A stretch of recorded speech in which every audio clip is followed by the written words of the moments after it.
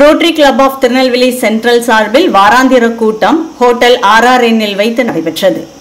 இக்கூட்டம் பொறுப்பு தலைவர் எல் பி சரவணன் மற்றும் செயலாளர் யு சரவணன் ஆகியோர் தலைமையில் நடைபெற்றது.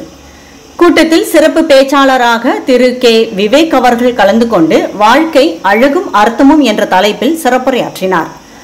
ரோட்டரி உறுப்பினர்கள் Ulagaraj Kannan Rangaraj Paul Edward Lakshmanan John Prakash Thangaraj Shanmuga Sundaram Ramasamy rotarian major donor Mayil T. Balasubramanian Selva Ramesh ஆகியோர் கலந்து கொண்டார்கள்.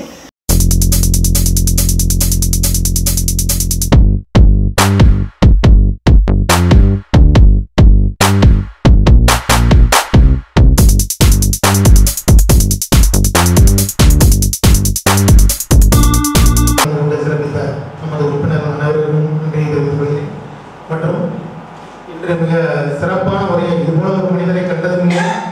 இது போன்ற ஒரு அருமையான உரையை நாங்கள் கேட்டதும் இல்லை சமீப காலத்தில். என்னும் விதத்தில் மிக அருமையாக இலக்கிய தரத்துடன் உரையாற்றிய சிறப்பு விருந்தினருக்கு மிகப்பெரிய நன்றியை தெரிவித்துக் கொள்கிறோம். இன்று நமக்கெல்லாம் விருந்தளிக்கக்கூடிய நமது அன்பு அண்ணாச்சி மயிலாச்சி அவர்களுக்கும் நன்றியை தெரிவித்துக் கொள்கிறோம்.